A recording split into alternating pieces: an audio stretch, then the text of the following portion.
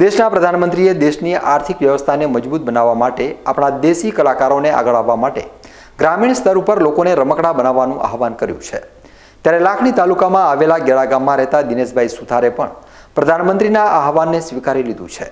આમ તો ગેળા ગામના દિનેશભાઈ સુથારને બચપનથી જ રમકડા બનાવવાનો શોખ હતો. સુથારી કામ શીખીને તેમણે રમકડા બનાવવાની શરૂઆત કરી હતી. શરૂઆતમાં કાચો માલ લાવીને લાકડામાંથી નાના રમકડા બનાવી ગેળા ખાતે આવેલા પ્રસિદ્ધ હનુમાનજીના મંદિર ઉપર વેચાણ માટે જતા હતા. શરૂઆતના વર્ષોમાં દર શનિવારે હનુમાન દાદાના મંદિર ઉપર દર્શન કરવા આવતા શ્રદ્ધાળુઓ પણ તેમના દ્વારા તૈયાર કરવામાં આવેલા બે નમૂન રમકડા ખરીદી કરતા હતા. દિનેશભાઈ સુથાર લાકડાના રમકડામાં ટ્રેક્ટર બનાવતા શરૂઆતના સમયમાં દિવસના ચાર કે પાંચ જ ટ્રેક્ટર વેચાતા હતા, પરંતુ અત્યારે દિવસના અંદાજિત બસોથી પણ વધુ ટ્રેક્ટર વેચાઈ રહ્યા છે. ગામડામાં ઉછરેલા આવા કલાકારોને યોગ્ય પ્રોત્સાહન મળે તો આવા ગરીબ કારીગરોની આર્થિક સ્થિતિ સુધારવા ઉપરાંત દેશની આર્થિક સ્થિતિ પણ મજબૂત બની શકે તેમ છે.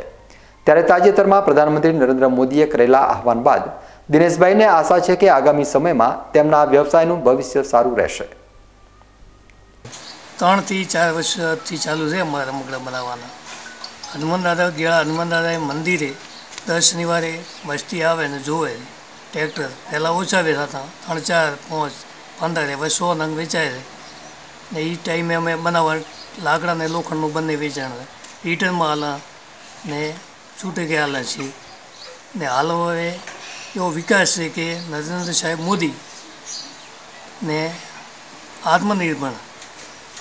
એવું છે તો એના માટે અમારે નાના કારીગરો માટે કોઈ સહાય હોય તો આપે તો એવો અમારે વિકાસ વધારે થઈ શકે.